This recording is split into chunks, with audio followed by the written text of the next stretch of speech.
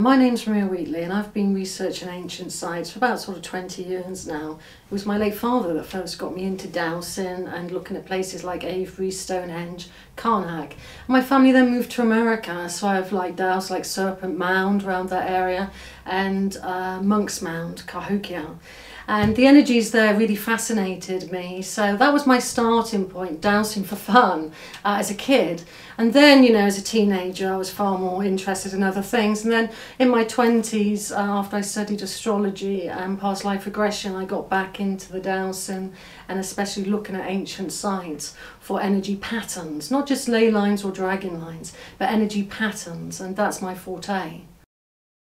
For me, they're multifaceted. They do many different things and many different functions. So I, I personally don't believe it's any one thing. I think, for example, they're addressing health issues to a certain degree at some sites because the energy patterns and the evidence for that, like with negative ions and other things besides, point to that. I also think that where you have certain types of ley lines that are very speedy, if you will, they travel quite fast across the landscape, that could have been used for different things, telepathy, uh, and transporting ideas across uh, the landscape as well. I mean, for example, in the Pacific Islands, there's a shaman there, and he always used to say, I just talk to the song lines, and the fish will come to me. We don't have to hunt them.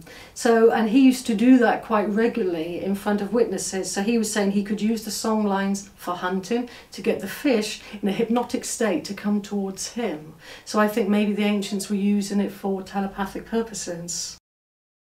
I think the energies of ancient sites, you can detect them and they are functioning to a certain degree. When you have a stone circle proper, for example, that isn't ruinous like Avebury or Stonehenge, it behaves far, far differently, which you guys have experienced at Rollright. It behaves far, far differently than, say, Avebury or Stonehenge. So I think that the energies were definitely controlled. That said, I think there's a bit of a blip in their system around about 1800 BC because a lot of stone circles show a huge tinkering phase. They were taking stones out of the sockets and putting them back in. And it may have been like an energy overload or something. But something seemed to happen at that particular point.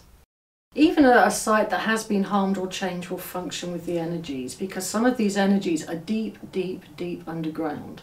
For example, the geospiral pattern I talk a lot about, which is the harmonic surface pattern of water created by the earth herself, yeah, that is permanent, it's perpetual. That water is constantly being replenished, yeah, it won't run dry. Uh, uh that will generate a magnetic field that is in constant energy zone all the time because the water's being replenished and the spiral pattern is associated with that. So that will be there, whether it's at a stone circle or somewhere in South Africa where you want to bore for that type of well. You just have to go down a long way.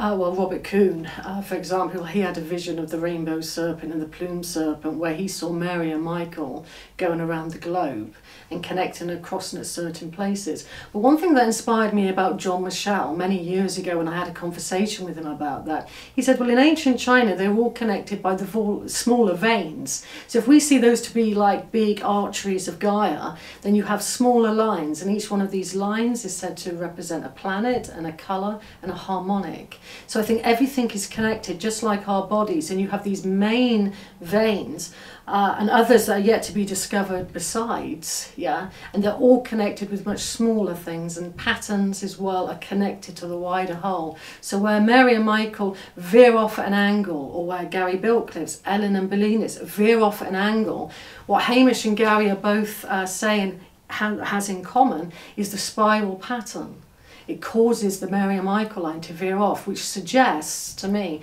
that that is the most powerful thing in the land because it can cause a gigantic energy current to suddenly whiz off at a 90 degree angle or something.